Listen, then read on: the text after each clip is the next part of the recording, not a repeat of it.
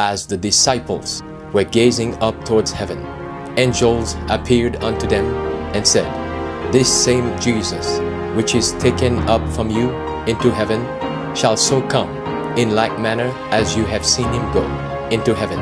This is your daily devotional. Maranatha, the Lord is coming with Sister Tonya Nougaisse. Maranatha, page 170. The Sabbath proclaimed more fully, June 11th.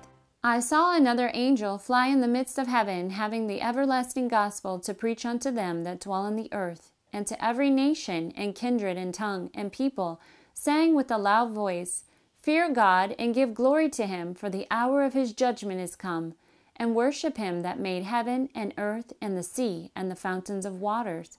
Revelation 14 6 and 7. At the commencement of the time of trouble, we were filled with the Holy Ghost as we went forth and proclaimed the Sabbath more fully. The commencement of that time of trouble here mentioned does not refer to the time when the plagues shall begin to be poured out, but to a short period just before they are poured out, while Christ is in the sanctuary.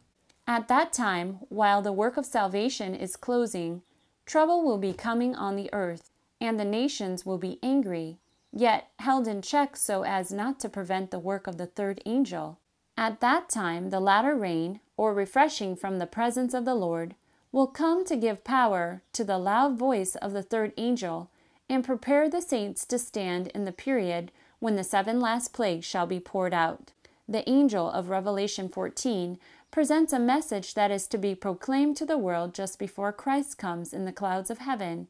Just prior to this time, then the attention of the people is to be called to the downtrodden law of God, which is contained in the Ark of the Testament.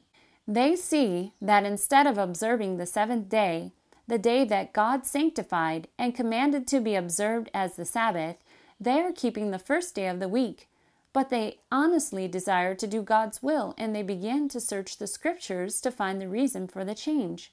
Failing to find any scriptural authority for the custom, the question arises will we accept a truth that has become unpopular and obey the commandments of God, or shall we continue with the world and obey the commandments of men?